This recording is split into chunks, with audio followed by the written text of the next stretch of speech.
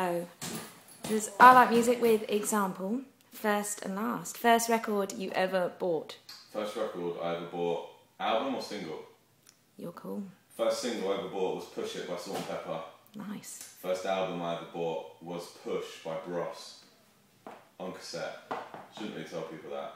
I owe you nothing. What? Nothing at all.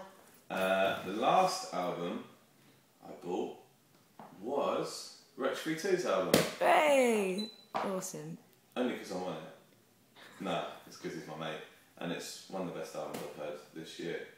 There's an endorsement for you. Thanks.